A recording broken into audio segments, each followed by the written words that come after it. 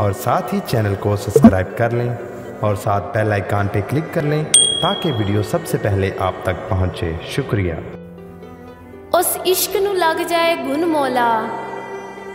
ਉਸ ਇਸ਼ਕ ਨੂੰ ਲੱਗ ਜਾਏ ਗੁਣ ਮੌਲਾ ਜਿਸ ਇਸ਼ਕ ਵਿੱਚ ਹੋਵੇ ਨਾ ਤੂੰ ਮੌਲਾ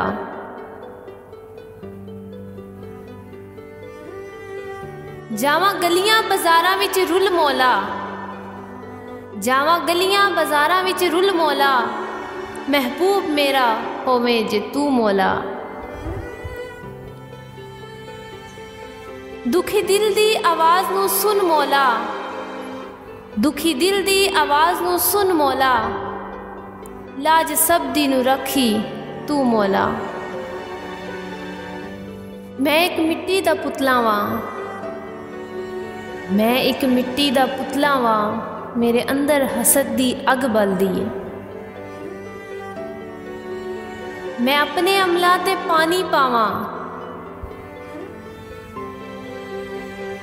ਮੈਂ ਆਪਣੇ ਅਮਲਾ ਤੇ ਪਾਣੀ ਪਾਵਾਂ।